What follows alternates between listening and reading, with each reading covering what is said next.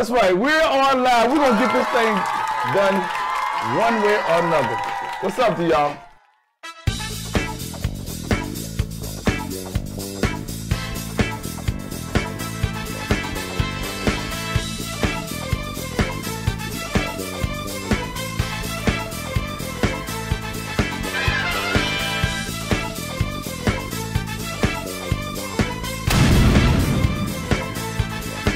Growing up in the foster care system. I have my man Bob here, all the way from the West Coast. He is uh, no stranger to the show, and um, I am glad to welcome him here. Before I do that, though, I want you all to continue to subscribe. Thank you for the subscribers that I've gotten thus far. I want you to hit that notification bell so that you can get the updates. Definitely, you got to do that.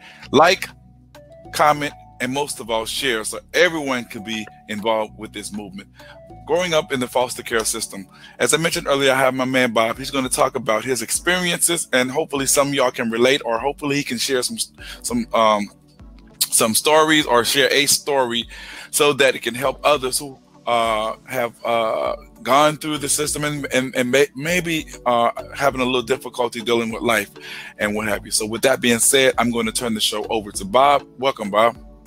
Hey, thank you. And, How you doing? I'm I'm doing great.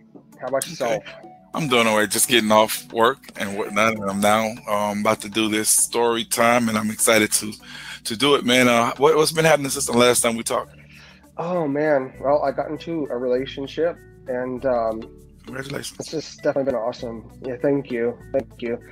And uh, she's she's really an amazing woman. I I couldn't ask for better in my life. Um, and you know, was in distance learning. Um, went through a, I think I was just starting the college semester when. Uh, mm-hmm. Yep. And so I finished that off, and I don't know how the heck I pulled it off, but I pulled it off with straight A's. So. Okay. Yeah. Congratulations. Congratulations. and how are your kids doing? You know they're they're doing good. Um, they they've had their trials in life, but they are doing good. They're doing good in school, and we actually um, got a puppy about two weeks ago or so. So that's that's been an interesting experience. oh God, I, I had a puppy, but I gave it well, my little girl had one, and we had to give it away because she had no time for it. So I was, we all yeah. kind of sad that day. So oh, anyway, we're gonna talk about growing up in the foster care system. So uh, tell give us some a little, little uh, background information in terms of what happened, and, and we'll work our way through the story. All right. So essentially, um, my mom's boyfriend was an alcoholic. Um, and, you know, my mom did the best that she could. She was a single mom of uh, four, you know, including myself. And I was uh, the only one in my family who had any visual impairment or anything. Um, and as we grew, there were just some things that weren't right at home. And um, I, I can't remember what led to my brother going to the hospital uh, back then. And, you know, we were in our teens. Um, my older brother, he uh, had turned 18 and he went to boot camp for the Army in Fort Jackson, South Carolina. But my little brother was um, taken to the hospital. Um, and uh, it wasn't anything from home, it was an outside incident. And he was telling them at the hospital about uh, my mom's boyfriend's drinking problem and some of the things that were going on at home. And it started off that um, that summer. It was in um, man, it's so long ago. Mm-hmm. It was a, the summer of 2000. Actually, it was right after my grandmother died, and um, basically, um,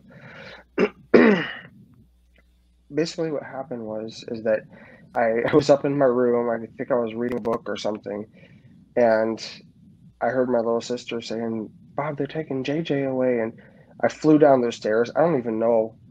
I don't even know if my feet touched a single stair on the way down. Like, and I, I flew out the front door. I was like 16 years old uh, back then, and this car pulled out of the driveway and drove off. And um, I just started bawling because I didn't know what was going on. And my little brother was just taken away. And um, I, I mean, I just started bawling, and all of a sudden the car comes back, and I guess my my little brother had seen me, and um, basically, um, he he asked if they could turn back, and so the car turned back, and he came and gave me a hug.